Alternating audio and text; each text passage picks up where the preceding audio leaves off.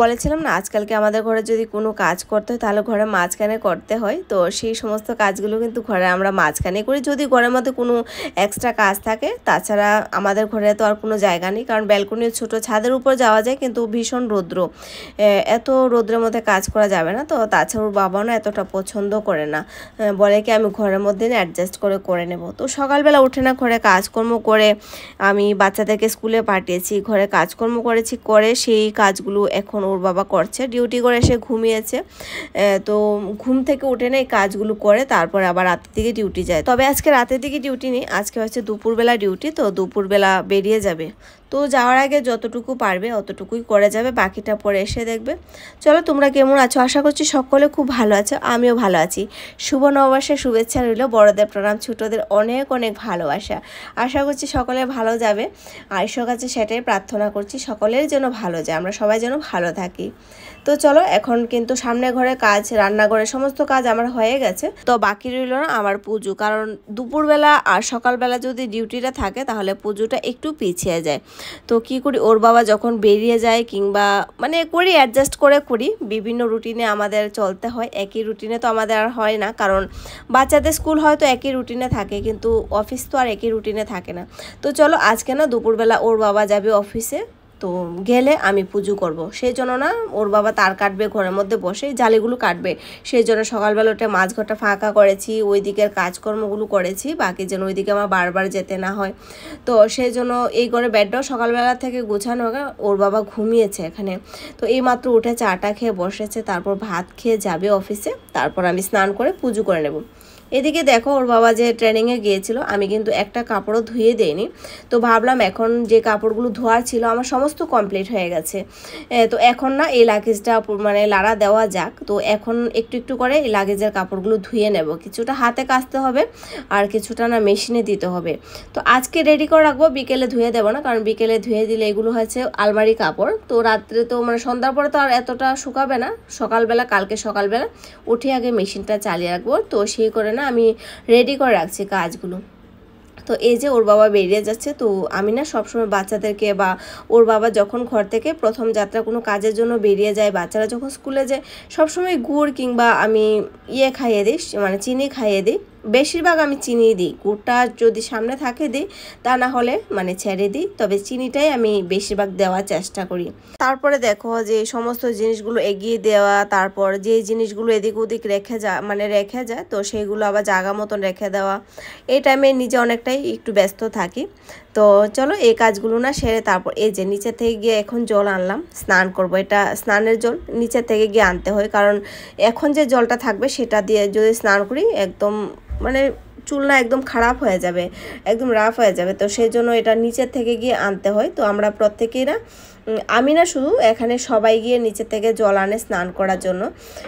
বা যদি গ্রাউন্ড ফ্লোরে থাকে, ওদের ক্ষেত্রে সুবিধা, আমরা তো উপরে থাকি সেকেন্ড ফ্লোরে থাকি, আমাদের একটু কষ্ট হয় মানে উঠে নিয়ে আসতে। স্টক করাটা এখনও স্টার্ট করিনি, বালতি টালতি এগুলো আগে আমার বের করে না, ধুয়ে দিতে হবে, তারপরে আস্তে আস্তে না স্টক করব। তো এদিকে চলো মানে একটু শান্ত পরিবেশে পুজোটা করার চেষ্টা করছি, কারণ এখন গড় একদম নীরব। তবে কখনো কখনো ভালো লাগে যে শান্ত পরিবেশে একটু পুজোটা করি। সকালের দিকে তো সেটা সম্ভব হয় না। যদি ওরা ঘুমে থাকে তাহলে যদি মানে কখনো কখনো সেটা কখনো কখনো হয়। বাকি তো মানে সবার মাঝখানে পুজোটা চালিয়ে যেতে হয়। তো বললাম না সিচুয়েশান সবসময় না একরকম আমাদের সিচুয়েশানটা আসে না। তো চলো এখানে ঠাকুরের গান মানে লাগিয়ে তারপর পুজোটা একটু প্রাণ ভরে নিজের মতো করে করে নিয়েছি। আর সমস্ত কিছু কিন্তু আমার এখানে সমস্ত কাজে কিন্তু ওঠানো কাজ। মানে কোনো কিছু আমার সেরকম এখন সুবিধা নেই। সমস্ত কাজেই পাইপ টাইপ লাগিয়ে জোগাড় চালিয়ে কাজ করতে হয়।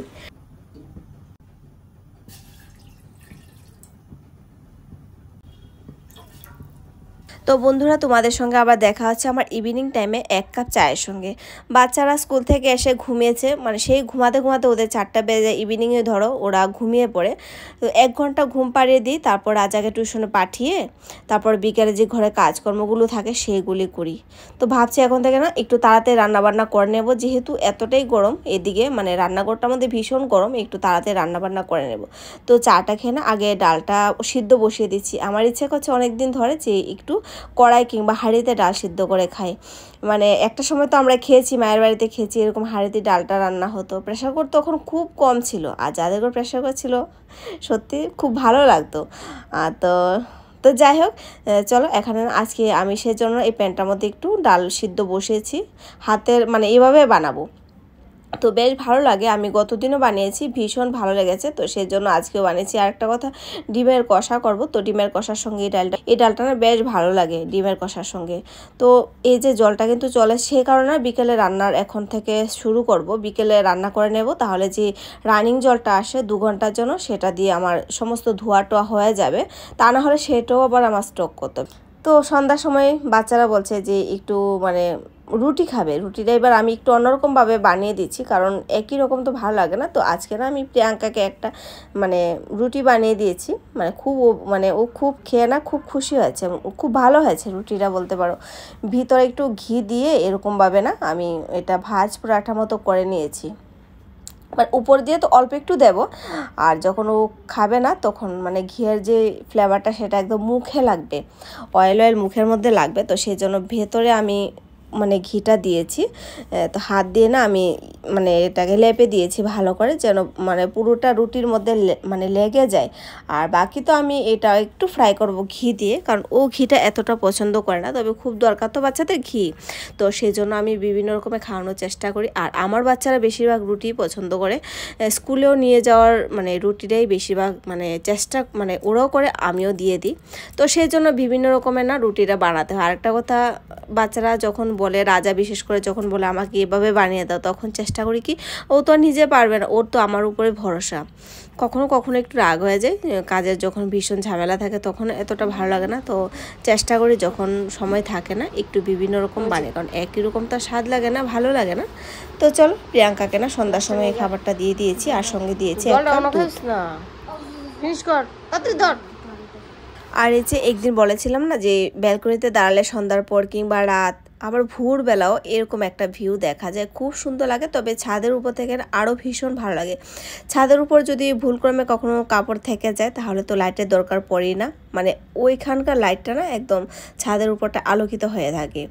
এখান থেকে মোটামুটি অনেকটা দূরে আছে দেখা যায়, কাছাকাছি কিন্তু অনেকটাই দূর। তবে ভালো লাগে সন্ধ্যার সময় এই জায়গাটার মধ্যে সন্ধ্যাবাতি দিয়ে যখন একটু দাঁড়িয়ে থাকি না, আমার সেই নিচে যেতে আমার ইচ্ছে করে না, আর এতটা সময় থাকে না।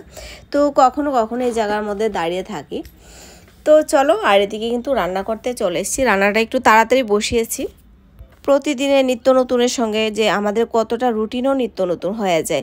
বিকেলবেলা দেখো ঘরের অন্যান্য কাজকর্ম থাকে, যে কাজগুলো আমরা সকালের দিকে করতে পারি না, সেই কাজগুলো বিকেলের দিকে থাকে। আর আমাদের এখন, আমার এখন রান্নাবান্না করতে হবে সেই বিকেল থেকে। কারণ এই যে জলটা থাকে মানে জলটা দিয়ে সবজি ধুয়ে ধুয়ে নিতে পারব, চাল, ডাল, যা সমস্ত কিছু না ধুয়ে নিতে পারব, শুধু রান্নাটা করতে পারব না।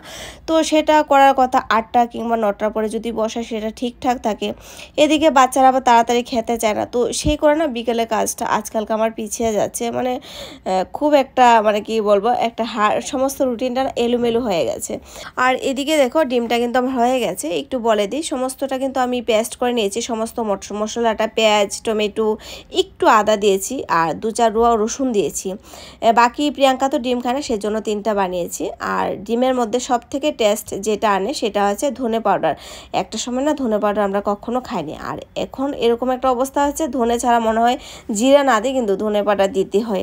আর সেটা কিন্তু ভীষণ ভালো লাগে ডিমের ক্ষেত্রে ধনে পাউডারটা তো এটা আমি মাঝামাঝি দেয়নি মানে প্রথম দিকে দেনি সেটা আমি মাঝামাঝি দিয়েছি। যখন একটু মানে গ্রেভিটা তেল সেপারেট হয়ে গেছে, তেল ছেড়ে দিয়েছে, তখন কিন্তু আমি ধনে পাউডারটা দিয়েছি। আর বাকি নামানোর আগে কাঁচা লঙ্কা, ধনে পাতা দিয়ে না এটা নামিয়ে নেব। মোটামুটি ধরো আমার ডিমটা কিন্তু হয়ে গেছে। পাঁচ মিনিটের জন্য ঢেকে দেবো। একদম শুকনা শুকনা হবে। সেটা ডালের সঙ্গে না বেশ ম্যাচ করে। মানে এইভাবে মানে খাবারটা ভালো লাগে, ভাত, ডাল আর হচ্ছে শুকনা ডিম, ডিমের কষা যেটাই বলো। তো আমার ভীষণ ভালো লাগে, আর বাকি তো প্রিয়াঙ্কা খায় না, আমাদের করে রাজার বাবা, রাজা আমারও খুব পছন্দের খাবার। আর রাতে রান্নাবান্না করে, করার পর আমাদের যে কাজটা থাকে গৃহিণীদের, এটা প্রত্যেকটা গৃহিণীদেরই থাকে। সেটা হচ্ছে রাতের কিচেন পরিষ্কার, কারণ সকালবেলা পাঁচটার সময় উঠেই না আমার কিচেনে ঢুকতে হয়। তো উঠে যখন একটু ফ্রেশ দেখি না কিচেনটা বেশ ভালো লাগে। চোখের ঘুমটাও যেন থাকে না। আর যদি ভুলক্রমে একটু কাজ থেকে যায়, তাহলে যেমন মানে কি বল অলসতা তখনই যেন চলে আসে। তো সেটাই রাতে কিন্তু আমি কিচেনটা ক্লিন করে ঘুমাই। যেহেতু বাচ্চাদের জন্য খাবার দাবার বানাতে হয়, সেটা আমার যত রাতি হোক না কেন, সেটা আমি করেই ঘুমাই। সেটা তা না হলে আমার একটা অসুবিধা হয়ে যায়। এখনও না দেখা যায়, কোনো কোনো জায়গায় কোনো প্রকারের মানুষ থাকে, যে কটা দিন তো থাকব, কোনো রকমের দিন কাটিয়ে যাওয়া। কোনো জায়গাটা না ওরা আপন ভাবতে জানে না। আর আমাদের মতো মানুষরা আমরা যেদিকে যাই না কেন, প্রত্যেকটা জায়গায় আমাদের আপন হয়ে যায়। সেই জন্য প্রত্যেকটা জায়গা যখন ছেড়ে আসে না, ভীষণ কষ্ট হয় সাজানো গোছানো সংসার। ভালো জিনিসপত্র সঙ্গে করে কিছুটা নিয়ে আসি, কিছুটা রেখে আসি। যেরকমভাবে মানে যেরকমভাবে সুবিধা হয় সেরকমভাবে জিনিসপত্র নিয়ে আসি। তো সেই জন্য আমাদের সেই সংসারটা মানে সংসারের জন্য ভীষণ কষ্ট হয়। তো সেটা স্বপ্নই থেকে যায় আর মনের সাজগড়ে থেকে যায়। বাকি তো আর প্রত্যেকটা জায়গায় মানে রাখতে পারব না। সেটা আমাদের ভাগ্যে নেই। তো সেই জন্য যেখানে থাকি সেই মানে সেই জায়গাটা যেন স্বর্গ করে তুলি। তো দেখো বুঝতে পারছ হয়তো মানে আমি তোমাদের সঙ্গে না প্রথম দিকে সিঙ্কটা একদম শেয়ার করতে পারি পুরোটা সিঙ্ক একদম রেড কালার ছিল। তো সেটাকে ঘষে ঘষে ঘষে ঘষে আমি এতটুকু এনেছি, বাকি হয়তো আমি যতদিন আছি বাকিটা হয়তো উঠে যাবে, আর বেশি দিন হয়তো লাগবে না। তো সেই জন্য প্রতিদিন আমি একটু বেশি করেই মানে দু তিনবারই দিনে আমার সিঙ্কটা ধুতে হয়, কারণ এটা যতদিন না যাবে, ততদিন আমার এই জায়গাটা একদম ভালো লাগবে না। তোমরা দেখতেই পাচ্ছ টাইলসগুলো ভীষণ নোংরা। আমি অনেক মানে ঘিসে ঘিসে এগুলো না তুলেছি। তো চলো কি আর করব বলো? এখন আমি যখন আছি, আমি আমার মতো করেই নেব। তো আজকের ভিডিওটা তোমাদের কাছে কীরকম লেগেছে? যদি ভালো লেগে থাকে, অবশ্যই কিন্তু একটা লাইক করো কমেন্ট করা। আমার চ্যানেলে যদি নতুন বন্ধু হয়ে থাকো, তাহলে অবশ্যই আমার চ্যানেলটাকে সাবস্ক্রাইব করে আমার পাশে থেকো, আমাকে সাপোর্ট করো। তোমাদের ভালোবাসায় কিন্তু আমি এগিয়ে যাব। চলো দেখা হচ্ছে নেক্সট একটা ব্লগের সঙ্গে। তোমরা সব ভালো থাকবে, সুস্থ থাকবে, নিজেদের খেয়াল অবশ্যই রাখবে। দেখা হচ্ছে নতুন আরও একটা ব্লগের সঙ্গে। Thank you good night